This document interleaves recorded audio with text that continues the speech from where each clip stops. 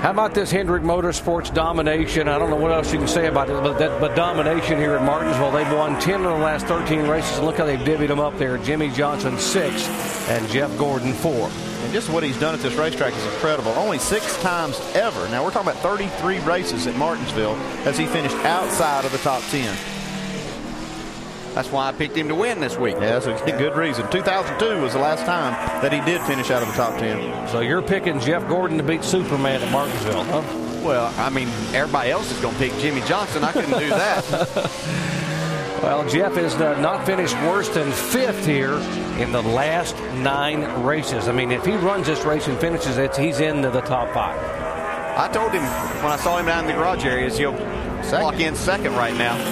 I was going to put a little extra pressure on him this week. Uh, he was my choice to win, so not to let it get to not, him. Not like he needed any more pressure. No. Uh-uh. Well, you know, when you have your teammates uh, go ahead of you like that, and then one right behind you, and you know how fast they are, for us to be sitting number one, even though we've gone early right now, is uh, is a great feeling. Really excited about this DuPont National Guard.com Chevrolet and how it's been performing today. But we got a, a few more bullets to uh, to dodge before this thing's over. But I'm real happy with the lap not a whole lot more I felt like I could have done to, to, to, improve. So, you know, of course, there's always little things, but I'm real happy with it. And, and the fact that Mark ran as solid a lap as he did, uh, you know, and, and, and uh, it was a good lap, and, and we were able to, to up that just a tiny bit because he's been kicking our tails every weekend in qualifying. So I feel pretty good right now. We're just waiting to see.